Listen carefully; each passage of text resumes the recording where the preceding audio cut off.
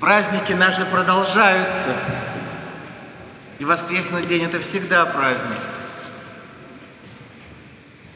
И встреча с Богом – это всегда праздник души. Хотя иногда это будет, бывают непростые встречи. Поэтому, конечно же, мы всех поздравляем с принятием Бога.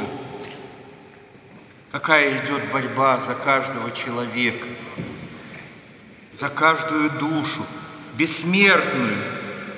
Если люди дерутся за какие-то клочки земли, за какие-то, понимаете, материальные ценности, которых, которые действительно по-настоящему ничего не стоят, то какая идет борьба за ту душу, которая будет жить вечно.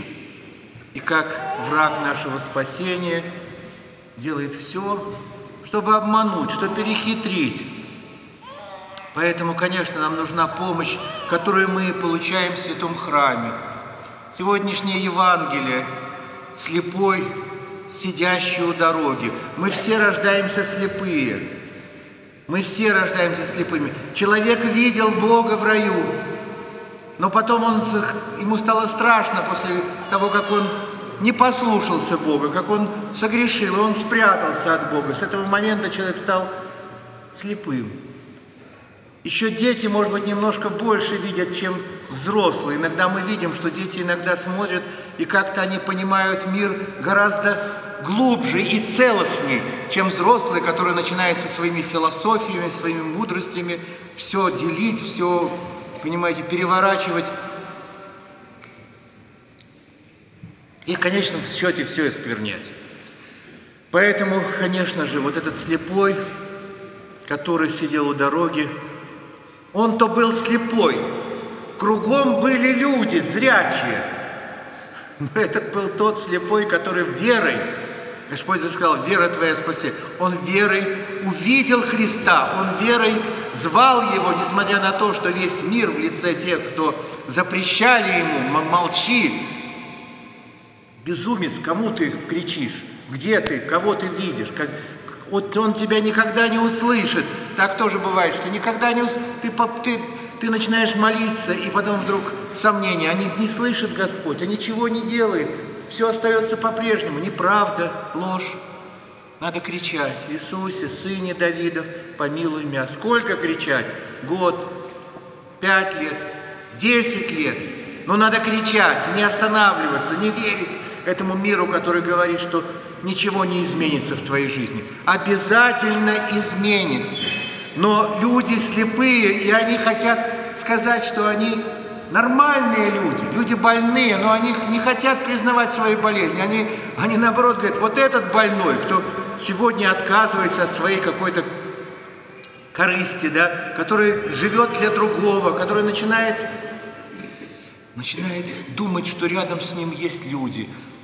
И кажется, что у человека уже что-то не, не в порядке, он, наверное, что-то пострадал, у него какая-то психологическая травма. Вот сегодня память основателя монашества Антония Великого, да? Сейчас в сегодняшнем мире, говорят, если человек пошел в монастырь, значит, что-то у него в жизни произошло, какая-то травма психологическая, видно, или несчастная любовь, или еще какие-то несчастья. И вот ему уже все, уже жизнь не мира, и он уже не мила, и он уже идет в монастырь, да, потому что ему уже делать в миру нечего, да, его уже он уже ничего не видит в миру, никакой перспективы. Но это же совершенно неправда, понимаете, это совершенная ложь.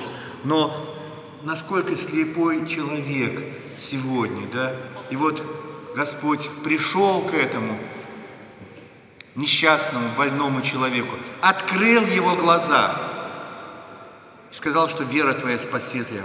И он пошел за Христом, славя Бога. Понимаете, вот вся, все, что можно в этом мире. Сегодня все бьются, да? Сегодня сейчас все начинают что-то выдумывать.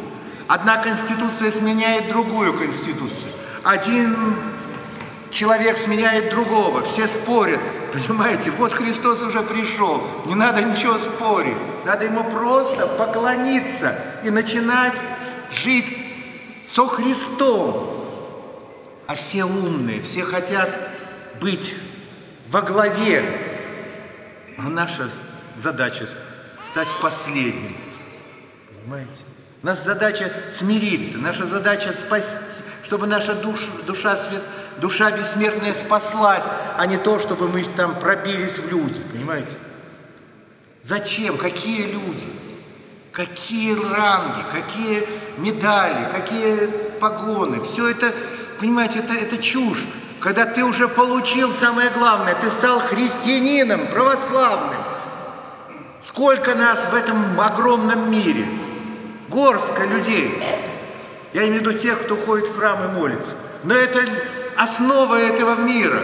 Мы должны это понимать, что если молитва прекратится, если уже любовь иссякнет, а любовь – это дар Божий, это не наши с вами какие-то качества, что мы всех любим, да никого не любим. Мы учимся всю жизнь любить своего ближнего и не, до конца не, не, не, не, не научаемся. И, и нам нужно понять, что милосердие Божие, чтобы Бог нас все-таки простил, чтобы мы были на пути, но, конечно, мы не можем сказать, что мы любим, не можем мы повторить то, что, что сделал Христос. Если нас будут убивать, мы не скажем, что да, прости их, не ведают, что творят. Но были такие святые. Вы знаете, Афанасий Брестский игумен, его убили за то, что он стал за православие, униаты. Потому что он поехал к русскому царю за помощью. Его посчитали предателем, и его убивали, вывели расстреливать. И он действительно молился за тех, благословил, кто его убивал, говорит, вы исполняете свой долг. И это было действительно такой вот пример, понимаете, э, христианского понимания вообще жизни. Понимаете? А у нас все, мы все по правде живем, по справедливости. Но это уже, конечно, все надоело. Понимаете? Слава Богу. Сегодня мы еще раз говорим, живем в лучшей стране в мире с лучшим президентом в мире. Можете меня ругать, можете меня не ругать, можете меня что говорить, но то, что я знаю, происходит кругом, и даже и в нашей любимой и дорогой нам России, не вдохновляет. Вот так. И слава Богу, я думаю, когда-то отец Николай Гурьянов сказал, что спасение пойдет из Белоруссии. Когда-то. Это очень было давно. И я думаю, что много чего он говорил, сейчас, сейчас оно все становится на места. Поэтому мы благодарим Бога, что мы можем в храме спокойно молиться Богу. И это самое главное, что есть у нас сейчас. Это наша привилегия. Вы знаете, как нам завидуют на Западе? Говорят, куда мы... Уже такого нету. Вот так. А у нас все хорошо. Слава Богу. Поэтому будем благодарны Богу за, за то, что сегодня Он нас накормил, напоил своей любовью, и эта любовь должна жить в наших с вами сердцах. Не теряйте ее, не меняйте ее ни на какие побрякушки, ни на какие да, хлопушки. Не надо. Живите с этой любовью и старайтесь созидать мир внутри себя, и тогда тысячи людей спасутся вокруг себя. У нас все просто. У нас нет никаких мудрований. Понимаете? Мы живем уже не этими законами.